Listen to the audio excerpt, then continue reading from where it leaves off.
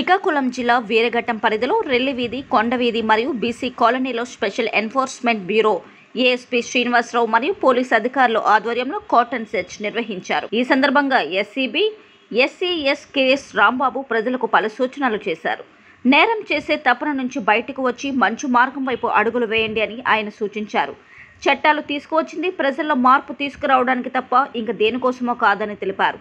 ఈ సందర్భంగా SCB ASP Srinivasarao మాట్లాడుతూ చాలా కాలంగా రెల్లి వీధిని విక్రయాలు కేంద్రాలుగా గుర్తిస్తున్నట్టు ఆయన తెలిపారు. ఎనభై నాలుగు లీటర్ల నాటుసారాన్ని స్వాధీనం చేసుకున్నట్టు ఆయన తెలిపారు. ముగ్గురు అనుమానితులను అదుపులోకి తీసుకున్నట్టు చెప్పారు.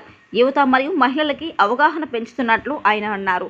బైండ్ ఓవర్ కూడా పెట్టడం జరుగుతుందని అన్నారు. నేరం ఆధారంగా పీడీ యాక్ట్ కూడా పెట్టడం జరుగుతుందన్నారు. ఈ cordon సెర్చ్లో Veeraghattam SA Bhaskar special enforcement bureau అధికారులు తదితరులు పాల్గొన్నారు. లేకపోతే ఇంకో రకంగా ఉంటారు ఇల్లీగల్ కాంటాక్ట్స్ ఉంటారు. వీటి వల్ల ఏమవుతున్నారు? పతనం అయిపోతారు. చట్టంలో ఇరుక్కుపోతున్నారు. ఆ కుటుంబం మొత్తం పతనం అయిపోతుంది. కుటుంబాలు పతనం అయిపోతున్నాయి. ఎందువల్లంటే ఇప్పుడు మేము ఇప్పుడు ఏఎస్పీ గారికి కూడా ఏంటంటే ఏఎస్పీ గారి ఉద్దేశం కూడా ఏంటి? ఆయన సోషల్ యాక్టివిటీస్ ఎందువల్లంటే మిగతా ఏఎస్పీ గారు ఈ ఫీల్డ్లోకి రాదు ఏఎస్పీ గారు కానీ ఎస్పీ గారు కానీ ఎప్పుడు కూడా మీకు ఎప్పుడైనా కనపడ్డారా? ఆ ఎంఎల్ఏ వేసుకొని ఎప్పుడైనా కనపడ్డారా? ఆయన టీచర్గా లెక్చరర్గా తర్వాత సొసైటీని చదివిన వ్యక్తిగా ఆయన గారు వచ్చారు. మిమ్మల్ని మాట్లాడండి మీ మీద ఏదో యాక్షన్ తీసుకున్నామని కాదు.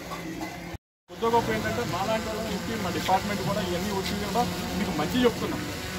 మానండి అని ఏమైనా మామూలుగా మీతో చెప్పాల్సిన అవసరం కూడా లేదు చెప్పాల్సిన అవసరం ఉందా మాకు? లేదు కదా? మరి ఎందుకు చెప్తున్నాం అష్టజ్ఞానం లేదు. తర్వాత చదువు లేదు తర్వాత చదువు లేకపోతే చదువు లేకపోవడం వల్ల అనేకమైన అనర్థాలు ఏంటంటే తాపత్రయం ఏంటంటే ఆ కాసేపు ఈ డబ్బులు వస్తే ఏదన్నా మనకు ఉపయోగపడుతుంది అని చెప్పి అనుకుంటారు. కానీ అది చట్టంలో ఇరుక్కుంటే ఎంత అవుతుంది? ఎనిమిది సంవత్సరాలు జైలు ఉంటుంది. తర్వాత జైలు పెట్టుకోవడానికి ఒక యాభై వేలు కావాలి. రెల్లి వీధి కొండ వీధి తర్వాత బీసీ కాలనీ వీటన్నిటిని కూడా local police and special party teams కూడా పెట్టుకుని సబ్ టీమ్స్ అన్నీ కూడా కలిసి చేయడం జరిగింది. Already sub inspectors AS local sub inspector and local police అందరూ పార్టిసిపేట్ చేయడం జరిగింది. ఇందులో మనము ఒక ఫోర్ కేసెస్ ఐడెంటిఫై చేయడం జరిగింది. త్రీ అక్యూజ్డ్ని మనము కస్టడీలోకి తీసుకోవడం జరిగింది. Eighty four litres of ID seize చేయడం జరిగింది.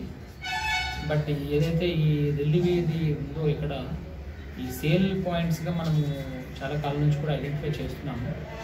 అక్కడ మనకి దొరికినటువంటి ఎంపీ క్యాన్స్ ఇవన్నీ కూడా దాన్ని ఎస్టాబ్లిష్ చేస్తున్నాయి క్లియర్గా ఇక్కడ ఉన్నటువంటి లోకల్ పీపుల్ అందరికీ కూడా అవేర్నెస్ కండక్ట్ చేయడం జరిగింది. అలాగే లోకల్ మహిళా పోలీస్ అండ్ వాలంటీర్స్ కూడా తీసుకోవడం జరిగింది. వాచ్ అనేటువంటిది కంటిన్యూ అవుతుంది. అదే కాకుండా ఎర్లియర్ ఎవరెవరైతే ఉన్నారో వాళ్ళందరి మీద కూడా షీట్స్ ఓపెన్ చేయడం జరుగుతుంది. బైండ్ ఓవర్స్ కూడా ఇనిషియేట్ చేయడం జరుగుతుంది. ఇవి మళ్ళా మరలాగా రిపీట్ అయ్యేటట్టు అయితే వాళ్ళ మీద ఉన్నటువంటి క్రైమ్ ఏదైతే ఉందో వాటంతటినీ కూడా మనం అసెస్ చేస్తున్నాము. బేస్డ్ ఆన్ క్రైమ్ పీడీ యాక్ట్కి ఫిట్ ప్రపోజల్స్ ఉంటే ఖచ్చితంగా పీడీ యాక్ట్ కూడా ఇనిషియేట్ చేయడం జరుగుతుంది. బిఫోర్ ఇనిషియేటింగ్ పీడీ యాక్ట్ మనం ఎవరెవరైతే ఉన్న పాలసీలో మనం తరచూ ఒక వీక్లీ ఆర్ టెన్ డేస్కి ఒకసారి వాళ్ళతో మాట్లాడడం జరుగుతుంది. ఈ యూత్ ఎవరైతే ఉన్నారో యూత్ కానీ విమెన్ కానీ వాళ్ళని మనం కౌన్సిలింగ్